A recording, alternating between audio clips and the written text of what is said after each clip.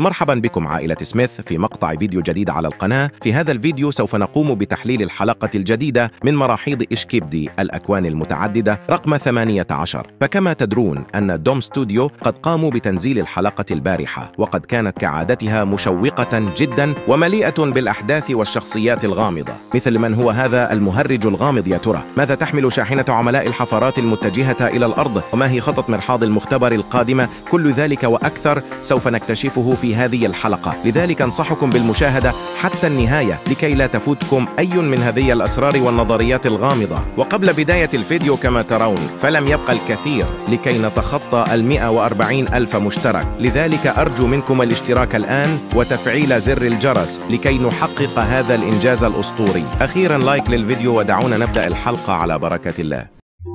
Amazing! حسنا تبدأ الحلقة وذلك برؤية معركة قوية بين المراحيض ورجال الكاميرات تدور وسط قمم الجبال. وكان رجل كاميرا التسجيل يستخدم سلاح رشاشة ويطلق بها على المراحيض الطائرة. فيبدو أنهم صاعدين على متن الطائرة وبعد أن قضى على المراحيض جميعها تلتف الكاميرا لبعض الوقت إلى الوراء ونرى أحد رجال الكاميرات يرتدي حقيبة براشوت على ظهره. وكان يقف بجانب إحدى المنظمات ولاحظوا أن هنالك شاشة خلفها على الحائط تحتوي على بعض الكتابات. وهذه عبارة عن رسالة من عملاق الحفارة تقول أريد العودة أي يقصد أنه يريد العودة إلى المعركة. ولكن كما نعلم أنه يحتاج إلى بذلة جديدة غير التي خسرها في آخر معركة له. بعدها تستدير الكاميرا مرة أخرى ونرى طائرة كاميرات ثانية كانت تتبعهم من الخلف. فيبدو أن هنالك العديد منها. ولكن نرى قدوم طائرة صواريخ تجاههم من الأمام. وعندما تقترب إليهم تقوم بقذفهم بقذيفة صاروخية. وتهتز الطائرة بكاملها وكادت أن تسقط. ومن الأمام الأمام نرى قدوم. قذيفة صاروخية أخرى كان يقودها أحد المراحيض فتقوم بإصابة قمرة القيادة وتحترق بالكامل وينطلق جرس الإنذار الخاص بالطائرة. ونرى رجل كاميرا التسجيل قد أصبح يجاهد للابتعاد عن الحريق وقام بالقفز من على الطائرة. وقد نظر إلى الأسفل حيث نرى بعض الأنوار الساطعة ثم نراه قد قام بفتح مظلته. وقد كان فيها العديد من الثقوب. وكما ترون فإن هذا هو مشهد المعركة الذي رأيناه في فيديو التسريب حيث كانت هنالك معركة طاحنة بين رجال الكاميرات والمراحيض تدور في الأسفل وقد كان يستخدم فيها العديد من الأسلحة الحديثة والفتاكة التي بإمكانها إسقاط جميع الطائرات الحربية على الأرض. وعندما يهبط رجل الكاميرا نرى مشهد قدوم رجل الكاميرا الضخم وقد كان يحمل باذوقة في يده وقد قام بأعطاه إليه. وكما ذكرت سابقا أنه كونه استطاع أن يحمل الباذوقة الثقيلة بكل سهولة فهذا يعني أنه أحد رجال الكاميرات الضخام أيضا. المهم بعدها نرى رجل الكاميرا قد حمل السلاح. وعندما يرفع رأسه إلى فوق. نرى المعركة الفتاكة بشكل أوضح ويبدو أنه أصيب فيها. العديد من رجال الكاميرات وقد أصابوا بالأهباط الشديد.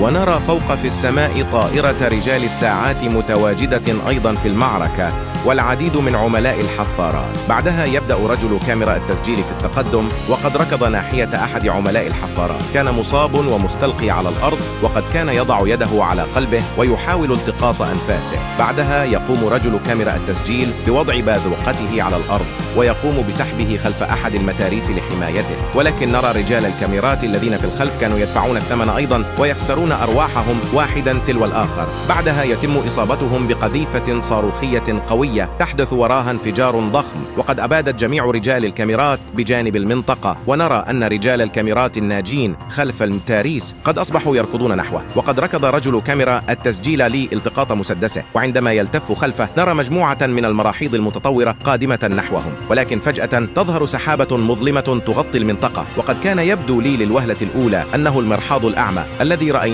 في الحلقة السابقة وقد سارعت المراحيض بالهرب والابتعاد عنه ولكن عندما ينجلي الدخان نرى عربة غريبة وملونة كان عليها مرحاض وقد كانت تبدو صغيرة جدا من بعيد. ولكن بعد قليل سوف نكتشف أنها أكبر بكثير مما تبدو لذلك تابع المشاهدة. بعدها يخرج رأس المرحاض وقد كان يبدو مثل مهرج السيرك ولكنه يبدو مخيفا جدا وقد أصبح يرقص ويهرول بطريقة مضحكة. ونرى أن هذا العرض قد أعجب رجل الكاميرا وأصبح يصفق له ولكن بعدها يبدأ العرض الحقيقي حيث أصدر المرحاض صوت ضحكة مرعبة مثل الأشباح وقد بدأ في إخراج معداته القتالية. وقد كانت عبارة عن حصادات ولكنها يبدو أنها تحصد الأرواح وقد أصبح يندفع بجنون ويهرس كل ما يجده أمامه. وقد بدأ رجل كاميرا التسجيل بركض إلى الأمام لنجاة بروحه ولكنه قد تعثر وسقط على الأرض. وقد كان المرحاض يستمر في التقدم نحوه. وقد دمر المنطقة بكاملها خلفه. ولكن قبل أن يتمكن من سحقه هو أيضا يظهر عملاق الكاميرا من خلفه. وقد بدأ المرحاض مرعوبا عندما شعر به خلفه وأصبح يلف رقبته إلى الوراء بخوف شديد. ونرى عملاق الكاميرا قد بدأ في النظر إليه بغضب شديد. ثم قام بإطلاق النار من رشاشته.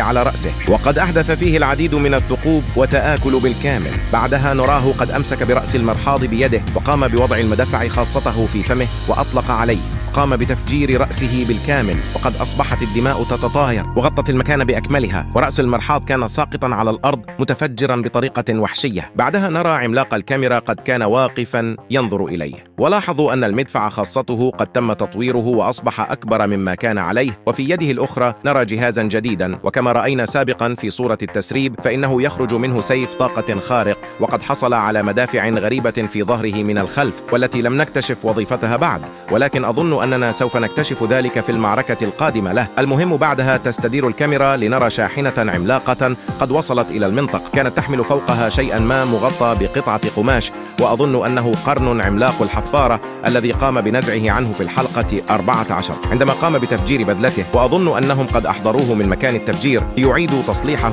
وارجع عملاق الحفارة. وقد كان هنالك رجل حفارة واقفا في الأمام وهو يرتدي ثياب المختبر. وبعدها ينفتح باب المدخل على الأرض ويبدو أنه يؤدي إلى مقر رجال الحفارات. بعدها تستدير الكاميرا ونرى عملاق الكاميرا قد حصل على تعليمات جديدة من المقر الرئيسي وقد غادر المكان وهو في عجلة من أمره. بعدها تستدير الكاميرا ناحية رأس المرحاض المهرج المدمر على الأرض وينتقل بنا إلى مشهد آخر. نرى فيه تمثال أبيض لرأس صبي وقد كان يرتدي قبعة مهرج السر. بعدها نرى قدوم يد عليها قفاز أبيض. قامت برفع القبعة من على التمثال ونبدأ في رؤية مدينة ملاهي مظلمة. ثم نرى مهرج السيرك وهو يرتدي القبعة وكان صاعد على متن عربة وتتحرك به يمينا ويسارا. وفي الجانب الآخر نرى مخلوقا عنكبوتي كان يتحرك نحوه. ثم نرى المهرج بشكل مموه من فوق وكان يمشي بطريقة مرعبة. ثم بعد ذلك نرى مرحاض المختبر هو من كان يمشي في الجانب الآخر. قد بدأ النظر إليه بشكل مريب جدا ثم يبدأ في الضحك بطريقة شريرة. وقد كان المهرج الغامض يستمر في التقدم إليه. بعدها نرى المهرج بشكل أوضح وقد كان مرعبا جدا ويمتلك العديد من الأسلحة والأدوات الفتاكة ولا يتوقف الرعب عند هذا الحد بل نراه قد أصبح يضحك بطريقة مرعبة. والدماء والديدان قد بدأت بالخروج من فمه ونرى بعدها المزيد من المراحيض المهرجة. أصبحت تخرج من أرجاء السيرك وقد تجمعوا حول المرحاض المهرج الكبير الذي من الواضح أنه قائدهم. وقد كان مرحاض المختبر مستمتعا كثيرا مما يشاهد فيبدو أنهم سوف يقدمون من أجله عرضا مميزا ومرعبا. جدا في الحلقة القادمة. بعدها نرى مرحاض المختبر قد استخدم قدرة التبخر لي الانتقال من المكان وتنتهي الحلقة.